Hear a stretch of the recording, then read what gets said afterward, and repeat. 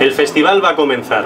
Y no había mejor manera de inaugurar esta decimonovena edición de la Feria de Teatro que con esta función para ellos. Caperucita, lo que nunca se contó, de Teroncillo. Queremos impulsar la afición desde la infancia al teatro, a las artes escénicas y por ello hoy vamos a poder disfrutar de una obra muy divertida, de una obra muy atractiva para el público infantil y para el público familiar. Y cuando estos niños crezcan, los protagonistas de esta edición leerán a Ibsen y Casa de Muñecas será un imprescindible para ellos.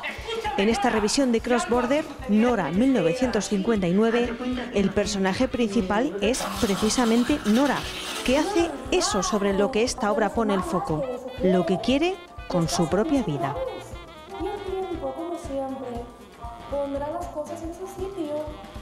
La noche cubre ya el cielo de Ciudad Rodrigo con la propuesta de virtual danza en la Plaza de San Salvador.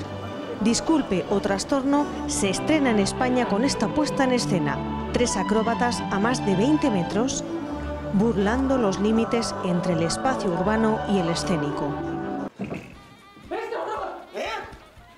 Un actor, una actriz y títeres. Esta es la vuelta de tuerca que Alauda ofrece este año sobre Macbeth. Las relaciones entre el títere y quien lo maneja también son importantes. Todo contado desde el punto de vista musical, con un violonchelo, dos timbales y unos muelles que le ponen el marco dramático perfecto. Y rozando la medianoche, el espectáculo es para adultos, divertido pero también sugerente y profundo.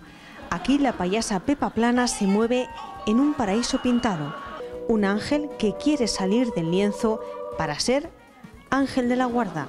Así nos dan las buenas noches. Hasta mañana.